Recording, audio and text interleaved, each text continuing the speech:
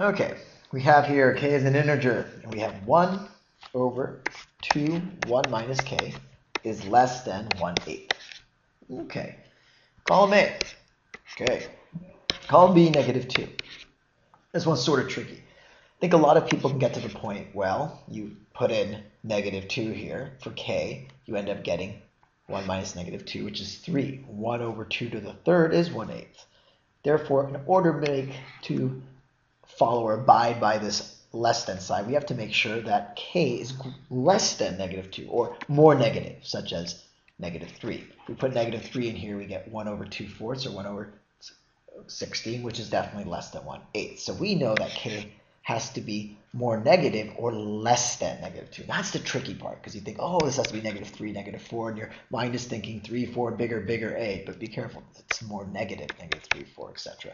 So therefore negative 2 is greater, the answer is B.